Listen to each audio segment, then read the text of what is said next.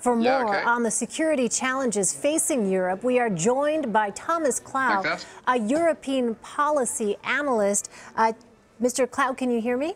Yeah, I can hear you. Okay, great. Uh, let me just start off by asking you about whether you think European countries are doing enough to fight extremists essentially living right in their communities. Uh, well, of course, in the light of what's happened today in Brussels and what's happened in the last um, uh, in the last years, really all over Europe, you could argue that it's not enough.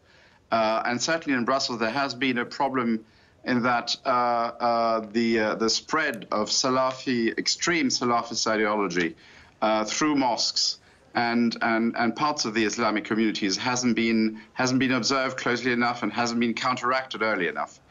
And um, and what happened uh, in Brussels today uh, is a further wake-up call to Europeans to take the threat of uh, uh, a radicalization of parts of the Muslim community seriously and to address the root causes. And one of them, of course, is the ex- exportation of the most aggressive form of puritanical Islam from Saudi Arabia, Wahhabi Islam.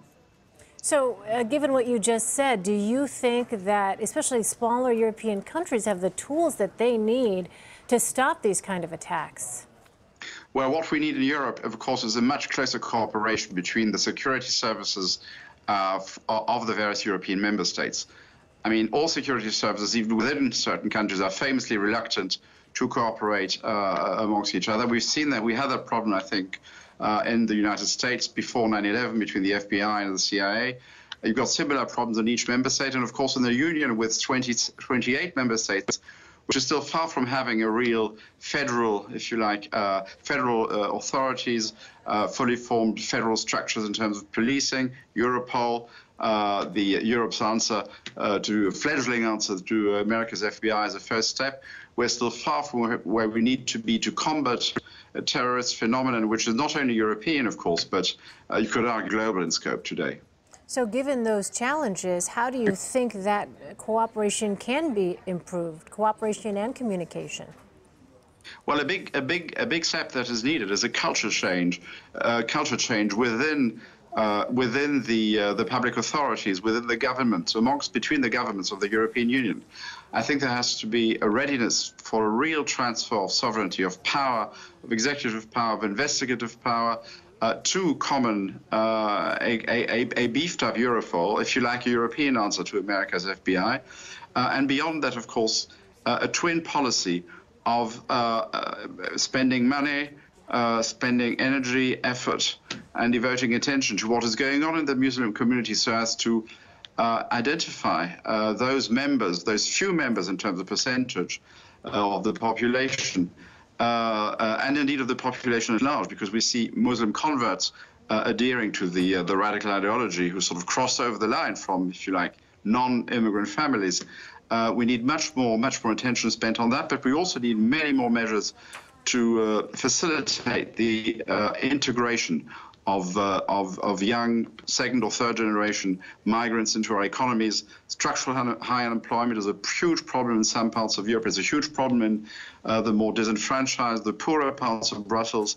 You've got as many as 50% of the of young uh, young young men and women, men in particular in immigrant neighborhoods, out of the uh, locked out of the labor market, um, and and and that of course is one of the causes which facilitate and fuel the radicalization of a small minority of those. Uh, some of the things that you're spelling out, though, seem to be awfully ambitious goals. What do you think the reality is as far as European countries having any kind of policy changes uh, to try and fight some of these extremists? I mean, do you foresee any major change based on what's happened, for instance, in Belgium? I think every, if you like, every further atrocity that's happened uh, in Europe, um, and of course, starting, if you like, outside Europe with 9/11, has been a further, uh, uh, a further wake-up call, uh, and none of which in itself has been sufficient so far. I think when you look at the history of terrorism overall, you know, terrorism is an old phenomenon in the world. Look at the uh, and in Europe. Uh, there was major terrorism in the late 19th uh, and early 20th century when anarchists, inspired often by Russian uh, theory, uh, Russian radical theory, went around murdering presidents and uh, and and the emperors of Austria and indeed American presidents have been murdered, several of them in the 19th century, as we very well know. Um, and, uh, and, and if you look at the lifespan of terrorist movements, um, sadly, uh, history teaches us they often last a generation, 30 years, uh, and sometimes longer than that.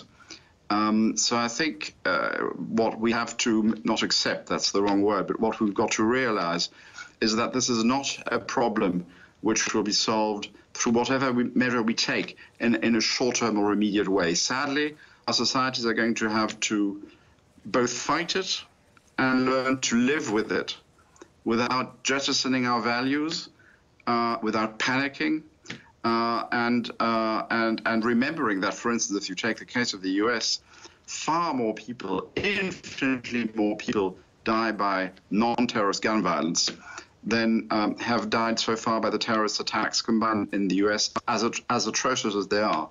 So, yes, it's awful, it's painful, but it's important at the same time not to panic. All right, Thomas Klau, thank you so much for your perspective. Appreciate it.